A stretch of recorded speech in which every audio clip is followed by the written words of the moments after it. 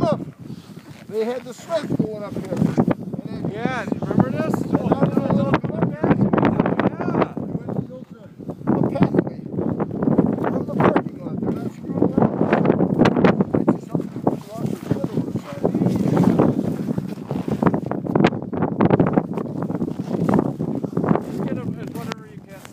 now they're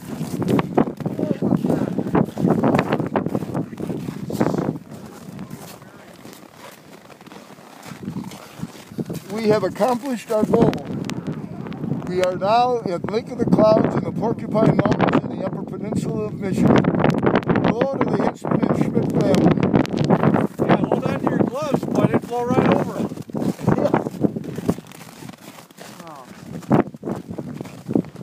Yeah, this I remember now. These weird stone structures. Uh-huh.